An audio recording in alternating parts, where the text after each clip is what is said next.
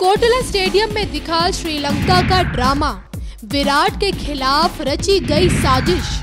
इनकार और इकरार के बीच झूला मैच। जी हाँ दिल्ली के फिरोशा कोटला स्टेडियम में भारत और श्रीलंका के बीच हो रहे टेस्ट सीरीज़ के दूसरे दिन बड़ा ड्रामा देखने को मिला। कोहली को तिहरे शतक से दूर रखने के लिए श्रीलंका खिलाड़ियों ने जिस चीज़ का सहारा लिया, उसको जानकर आप भी हैरान रह जाएँगे। टी ब्रेक के बाद जैसे ही श्रीलंका को लगा कि विराट तीसरे शतक की ओर बढ़ रहे हैं, टीम ने स्मोक का राग अलापना शुरू कर दिया। स्मोक को बहाना बनाकर श्रीलंका की टीम मैच को बीच में रोकने की कोशिश करने लगी। लेकिन सबसे दिलचस्प बात यह है कि मुँह पर मास्क पहने श्रीलंका खिलाड़ी ना ही इनकार कर रहे थे और ना ही इकरार।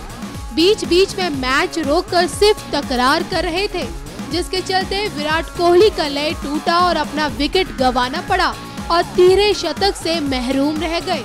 करीब 20 मिनट तक मैच को रोका गया, लेकिन श्रीलंका की ये साजिश उन्हीं को भारी पड़ गई।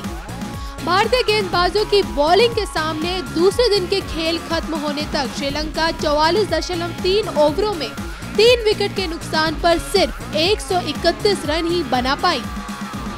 न्यूज़ एक्सप्रेस की रिपोर्ट।